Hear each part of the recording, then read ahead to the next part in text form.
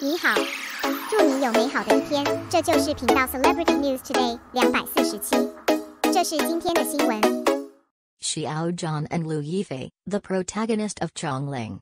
Audience, the great priest of Shiying is the real one. Actor Xiao Zhan has been rumored about his lower works since the completion of the new drama that Si Xiao Zhan Studio and himself did not say anything, but all kinds of news on the internet and all kinds of melon materials came to him one after another. No, the latest topic is that Changling is about to be filmed, and it was revealed that the protagonists are Xiao Zhan and Liu Yifei. The number of page views in one day has reached 8.63 million, and several media have forwarded relevant topics. Fans who really support Xiao have long been accustomed to such topics. The so called melon material can only be answered with two words he. Instead of believing these, it's better to care about the real thing.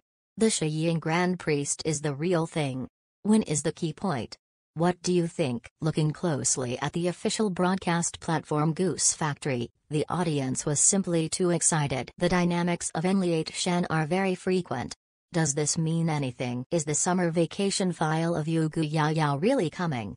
All in all, really looking forward to Shiying. The ancient costume male god is so amazing. As for the melon material spread on the internet, it can only be said that it is too fake. What do you think?